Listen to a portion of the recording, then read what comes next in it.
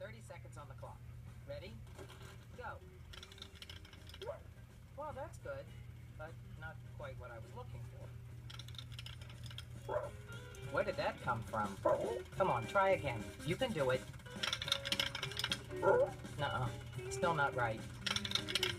No. Again.